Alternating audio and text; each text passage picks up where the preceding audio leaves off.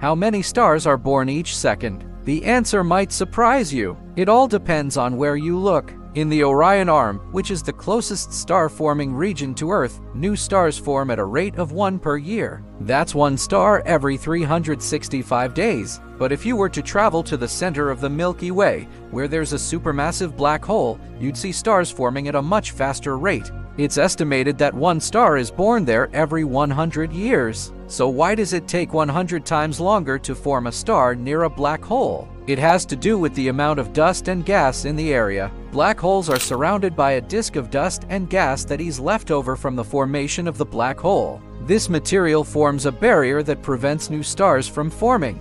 As a result, the only stars that can form near black holes are the ones that are massive enough to burn through the dust and gas cloud. These stars are typically blue and very hot. So if you want to see a baby star, your best bet is to look towards the center of the Milky Way. Just don't get too close to the black hole.